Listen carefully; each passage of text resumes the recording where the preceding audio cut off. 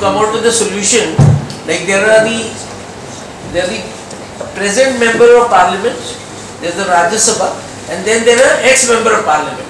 They will be into thousand numbers. Now suppose after the movement, every member of parliament or ex-member of parliament makes a petition, no blood petition, no why blood, you know, ink se and let that petition be uh, given in the parliament and get the assent from the president or whatever, I don't know, what's the legal system? आपका जो advice Yes. मैं मानता हूँ। स्वागत करता हूँ। लेकिन आज हिंदुस्तान में जिस प्रकार का सरकार चल रहा है वो तकलीफ़ की बात है। मैं साल बाद एमपी हो चुका हूँ। पंद्रह साल। Yes sir. 1998 से शुरू कर 2017 तक पहले का जितना प्रधानमंत्री थे गृह मंत्री थे जितना मंत्री थे चाहे एक्स एमएलए हो एक्स एमपी हो, चाहे कोई एक सदा सीधा आम जनता हो, अगर पत्र लिखे तो उस पत्र का जवाब ज़रूर मिलता चार साल में वर्तमान का प्रधानमंत्री साहब से मिलने के लिए मैं इतना चिट्ठी लिखा।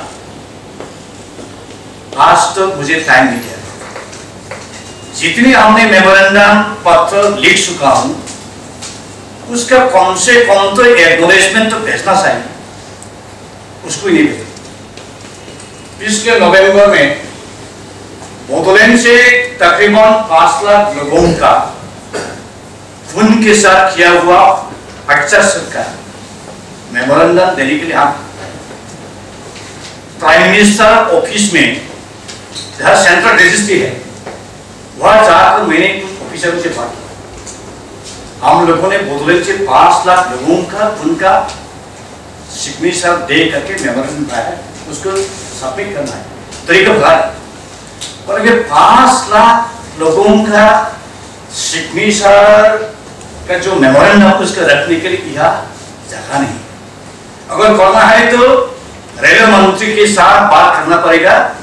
रेलवे भवन के गोदाम में उसका रखना अब देखिए what's the mindset of the present government अगर मिलने के लिए टाइम ही नहीं मिलता है किसी एक एक्स एमपी हो एक्स एमएलए हो आम जनता हो उनका पत्रों का अगर एक्नोलेजमेंट भी नहीं दिया जाते what kind of government is this?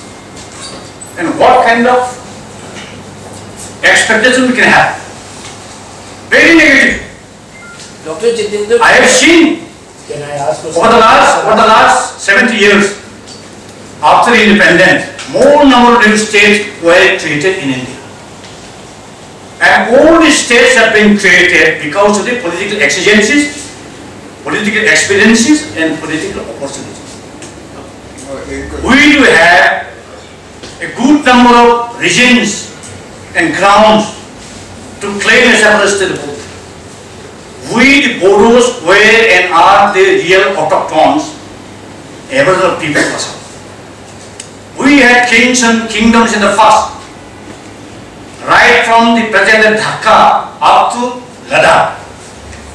The entire northern terrain, North India, was administered by very many kings at different points. Assam was our motherland and fatherland. Today we have been reduced to a microscopic minority. We have been marginalized in terms of politics, in terms of economy, in terms of language, culture. All the lands and tribal people have already been engraved by others outsiders including the uninvited influx of the Bangladesh. Now where Bodos has to go, have to go. That's why without having a separate state borderland, we don't have any other option. Thank you.